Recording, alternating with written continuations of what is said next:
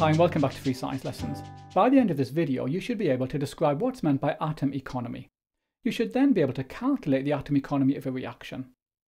I'm showing you here a reaction to produce the compound chloroethane.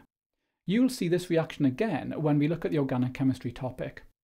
In this reaction we're starting with the reactants ethene and hydrogen chloride, and we're producing one product which is chloroethane.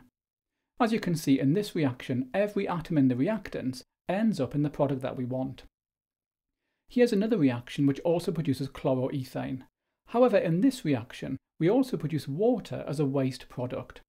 So what that means is that in reaction 2, not all of the atoms in the reactants end up in the product we want. Now the atom economy tells us what percentage of the mass of the reactant atoms ends up in the product we want. Here's the equation to calculate atom economy. Atom economy equals the molecular mass of desired product divided by the sum of the molecular masses of all reactants multiplied by 100. Now, there are a few points about this equation. The atom economy is based purely on the chemical equation for the reaction, and it assumes that the percentage yield is 100%. In other words, all of the reactant molecules react.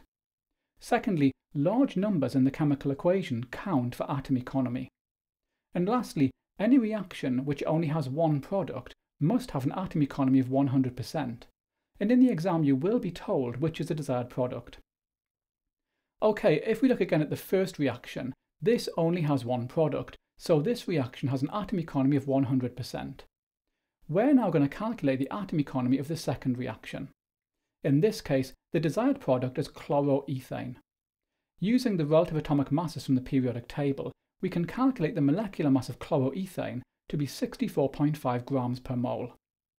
The molecular mass of ethanol is 46.0 grams per mole, and the molecular mass of hydrochloric acid is 36.5 grams per mole. Adding these together gives us a value of 82.5 grams per mole. Putting these into the equation gives us an atom economy of 78.2%. Coming up, I'll give you a question to try yourself. Okay, here's a question for you. I'm showing you the reaction between sodium hydroxide and sulfuric acid. Our desired product is sodium sulfate. I'd like you to calculate the atom economy for this reaction, so pause the video now and try this yourself. Okay, here's the equation for atom economy. The desired product is sodium sulfate, and this has a molecular mass of 142.1 grams per mole. Sodium hydroxide has a molecular mass of 40.0 grams per mole.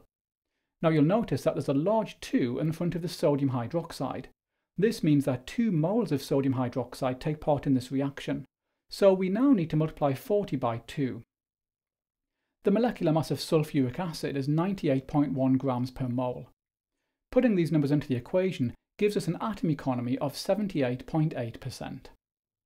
Now, I just want to discuss a couple of points about atom economy before finishing. Reactions with a high atom economy are more sustainable than those with a low atom economy, and that's because less of the mass of reactants end up in waste products. However, you need to bear in mind that other factors need to be considered, and one of these is energy use. For example, if a reaction had a high atom economy but required a large input of energy, then that may be less sustainable than a different reaction with a lower atom economy that required less energy. Also, the waste product of one reaction may be used by a chemical producer as a starting material for a different reaction, and this would increase the overall sustainability. Okay, so hopefully now you can describe what's meant by atom economy and calculate it for a chemical reaction.